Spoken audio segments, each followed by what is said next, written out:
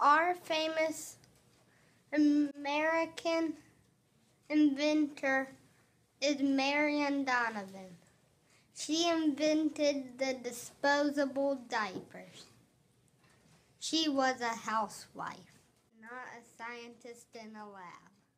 It was 1949. She was tired of the thankless job of cleaning sheets and changing wet clothes constantly over and over again. She took her shower curtain to her sewing machine and she invented a plastic cover for the cloth diapers. She called it a boater because it looks like a boat to her.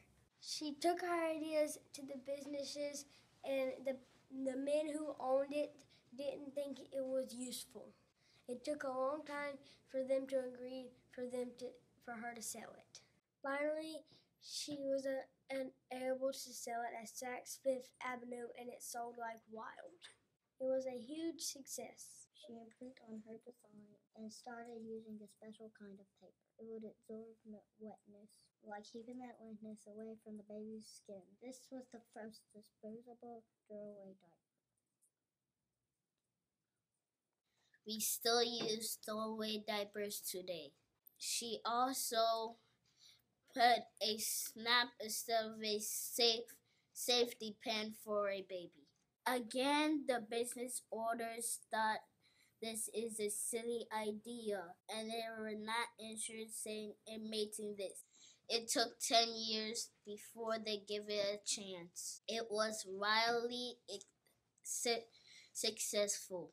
The company that finally gave her a chance was Pampers. People still use Pampers on their babies today. How do disposable diapers unite us? I think how the disposable diapers unite us because you don't have to constantly clean up stuff. You could just change a diaper. Anybody who changes the diaper is happier now because it's so much easier to change the diaper and the babies are happier too. You don't have to be a scientist in a lab to invent something amazing that could unite us all.